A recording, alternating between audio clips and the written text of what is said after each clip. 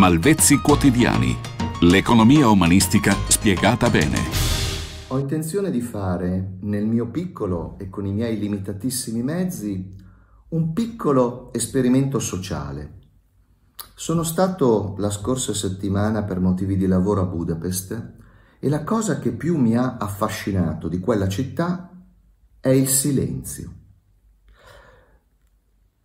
Esiste il silenzio nelle strade, esiste il silenzio nei bar, nei locali pubblici, le persone parlano in silenzio e per motivi che non riesco bene a spiegarmi, forse dovuti alla logistica, alla mobilità, perfino le auto, i mezzi di comunicazione non fanno il rumore che c'è nelle nostre città.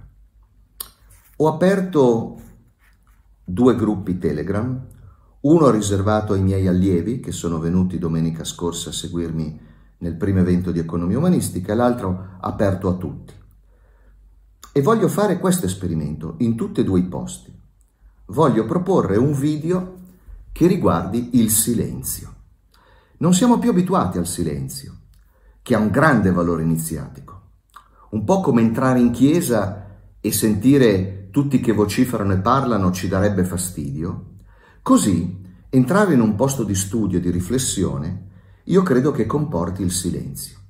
Io vedo che le persone oggi non ascoltano più, cercano soltanto di occupare lo spazio che c'è tra una battuta e l'altra. Non ascoltano l'interlocutore, si pongono l'obiettivo di parlare. E puntualmente, nei gruppi che ho aperto, appena arrivano le persone, si mettono a scrivere senza leggere un regolamento, senza cercare di capire cosa hanno detto magari le persone due o tre righe prima di loro. Ecco, io oggi farò questo. Io oggi voglio proporre un video nei miei gruppi Telegram in cui voglio fare, farò un video in cui si parlerà del silenzio e chiederò alle persone di commentare stando zitte. Voglio vedere che cosa succede. Sarebbe curioso passare un'intera giornata, non dico tanto, ma un'intera giornata senza scrivere, senza esternare il proprio pensiero, senza dover necessariamente commentare o criticare o polemizzare o insomma sfogare quella rabbia repressa, quella insoddisfazione del vivere che probabilmente è la causa prima dello scrivere. Malvezzi quotidiani.